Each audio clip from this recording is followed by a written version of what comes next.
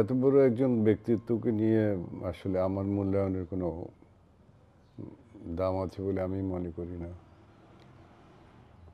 যারা শাস্তি দিচ্ছেন, তারা কোন অপরাধে দিচ্ছেন, কেন দিচ্ছেন, এটাও আমার ভাবে চিন্তায় আসে না। বাঙালি জাতির মধ্যে উনি বাঙালি মুসলমান, বাংলাদেশের আর কি, বাংলাদেশের মুসলমানের মধ্যে।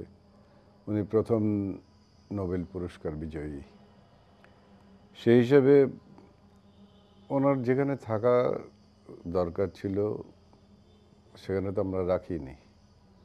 আসলে আমরা সম্মানীদের সম্মান করতে জানি না, এটাই হচ্ছে মোদ্দা কথা। এর চেয়ে বাইরে আর কিছু আমার বলার নেই।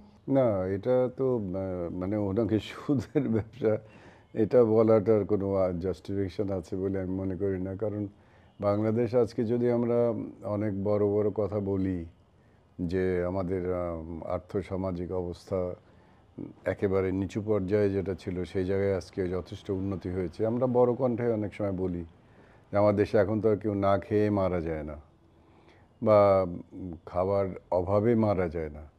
এই যে সাধারণ মধ্য, একেবারে নিম্ন মধ্যবিত্তদের মধ্যে যে ফাইন্যান্সিয়াল ক্রাইসিসটা উনি, ওনার মাধ্যমেই যেটা, যে যে সিস্টেমে উনি করার চেষ্টা করেছেন। আজও তো সেই সিস্টেমটা মোটামুটি বহালই আছে। ব্যাংক, ব্যাংকে থেকে শুরু করে, ব্যাংক ঋণ থেকে শুরু করে, স্বল্প ঋণ, স্বল্প আয়ের ঋণ, মানুষের জন্য ঋণ দেয়া।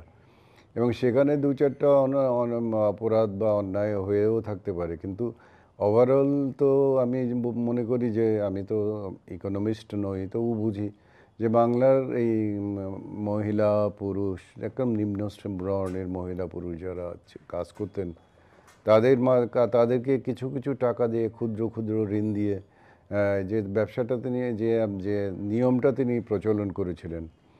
সেই মাইক্রো ক্রেডিট সিস্টেম তো আজকে পৃথিবীতে একটা উম, আলোড়নের সৃষ্টি করে ফেলেছে এবং সেটার উপরেই তাকে পৃথিবীতে বড় বড় জায়গায় বক্তৃতা দিতে হচ্ছে এবং তিনি আমরা দেখছি যে আমাদের যে যে সিস্টেমে আমরা চলছি সেখানে বড় লোক এবং গরিবের মাঝখানে একেবারে আকাশ পাতাল প্রভেদ হয়ে যাচ্ছে টাকা একটা বিশেষ গোষ্ঠী হাতের খাতে পুঞ্জীভূত হয়ে যাচ্ছে। চেষ্টা করা হচ্ছে যে দুটো মানুষের মাঝখানে যে ব্যবধান আছে সেই ব্যবধানটা কমিয়ে দেওয়া হোক। সেই কমিয়ে দেওয়ার প্রচেষ্টাটা তো আমরা খুব একটা দেখছি না। এখন আমরা যারা ঋণ দেখি, ক্ষুদ্র ঋণ দেখি না মানে যেটা ছোট ঋণও দেখি, সেই ঋণ পেতে যে কষ্ট হয় সেটা কিন্তু বড় আকারে যে ঋণগুলো আছে সেগুলো পেতে কষ্ট হয় না।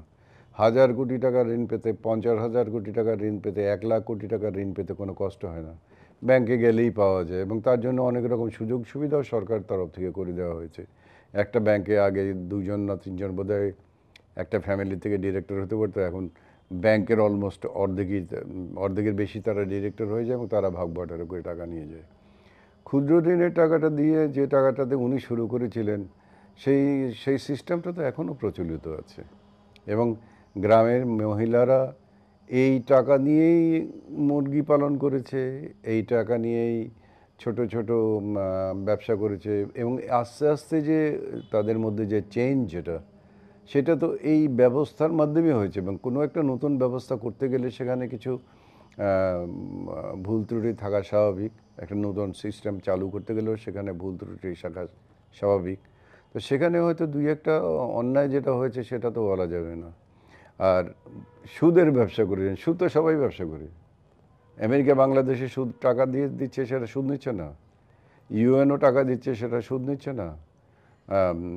চায়না বাংলাদেশকে টাকা দিচ্ছে, সুদ নিচ্ছে না। ভারত বাংলাদেশ টাকা নিচ্ছে, সুদ দিচ্ছে না। তো সুদ ছাড়া কোনো ডেভেলপমেন্ট তো হবে না। এটা তো এটা তো একটা, এক ধরনের মানে আইওয়াস ছাড়া আমি কিছু বলব না। সুদের ব্যবসা করেছেন। সুদ ছাড়া তো পৃথিবী চলে না। পৃথিবীর প্রত্যেকটা কান্ট্রি আমেরিকাও তার অন্য জায়গা থেকে টাকা নিয়ে তাদের সরকার চলে চলে অনেক সময়। প্রয়োজন বোধে তারা তাদের রিজার্ভ ব্যাংক থেকে তারা টাকা নেয়। তো সেটা তো টাকাতে নেয়। বাংলাদেশ সরকারও কিছু, কিছুদিন আগে বাংলাদেশ ব্যাংক থেকে টাকা নিয়েছে সুদে। তো সেটা তো সুদ তো চলবেই। সুদ, এই করবে এবং সেটা দিয়ে ডেভেলপড হবে এবং সেই ডেভেলপমেন্টের পরবর্তী পর্যায়ে সেই ইনকাম দিয়েই সেই টাকাটাকে সে রিটার্ন দিবে। এখন এটা ভালো মন্দের সাফাইতে আমি বলতে পারব না, ধর্মীয় পার্সপেক্টিভে আমি বলতে পারব না।